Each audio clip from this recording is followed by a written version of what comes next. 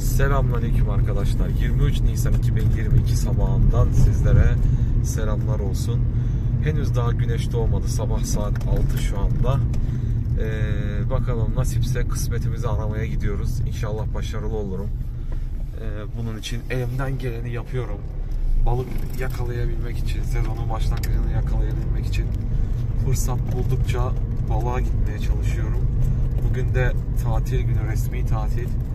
Erkenden uyandım. Sahurdan sonra e, kalkmak biraz zor oldu ama sabah saat 6'da kalkmayı başardım.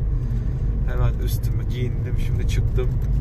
Gidiyorum bakalım. Kısmetse inşallah balık yakalayabilirsem sizlerle paylaşacağım.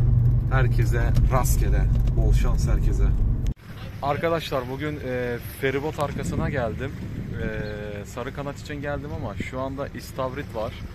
E, bayağı bir deneme yaptım sabah 6'dan beri. Şu an saat 8'e yaklaştı. E, sarı kanat alamadım. Lüfer de yok hani vuruş da almadım. O yüzden çapariye döndüm. Bir deneyeyim dedim. İstavrit aldım. Kıraça değil. Boyu bayağı iri. Bakalım denemeye devam edeceğiz. Rastgele herkese. Arkadaşlar bugün Eskisar feribot arkasına geldim. Ee, Bugün 23 Nisan 2022. Çocuk bayramı kutlu olsun bu arada. Çocuklar e, milletlerin geleceğidir. Evet bugün e, Çinekop lüfer için geldim ama kısmet olmadı. Çinekop lüfer yapmadı bugün. Bir miktar istavrit yaptı. E, Bugün istavrit aldım biraz. İstavritlerin boyları güzel, iri istavritler. Yani kıraça değil. Bayağı iri, güzel istavritler yakaladım. Ee, seyrek şekilde istavrit var. İstavrit soran arkadaşlar vardı.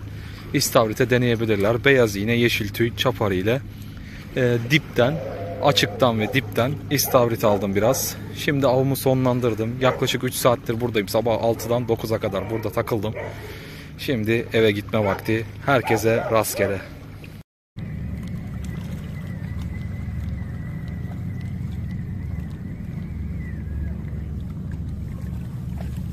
Evet arkadaşlar akşam suyunda geldim Ee, millet bahçesinde rapala denemesi yapıyorum.